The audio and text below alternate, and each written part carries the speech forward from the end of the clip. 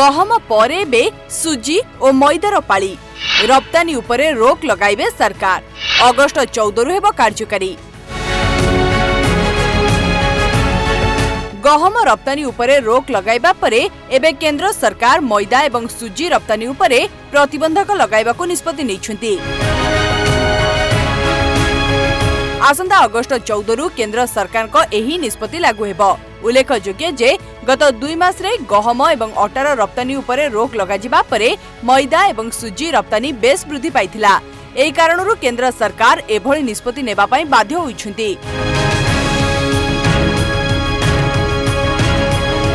ଜିଡିଏଫ୍ଡି ଦ୍ୱାରା ଜାରି ନିର୍ଦ୍ଦେଶ ଅନୁସାରେ ମଇଦା ଏବଂ ସୁଜିର ରପ୍ତାନୀ ପାଇଁ ଅନୁମତି ମନ୍ତ୍ରୀସ୍ତରୀୟ ପ୍ୟାନେଲର ମଞ୍ଜୁରୀ ପରେ ଦିଆଯିବ ଏହା ପୂର୍ବରୁ କେନ୍ଦ୍ର ସରକାର ଅଟାର ରପ୍ତାନୀ ଉପରେ ପ୍ରତିବନ୍ଧକ ଲାଗୁ କରି ଏହି ସମାନ କଥା କହିଥିଲେ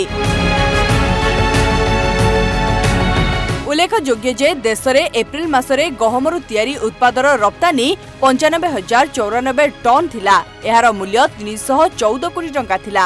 मे मासर दुईश कोटी कोटि ट दशमिक दुई टन रप्तानी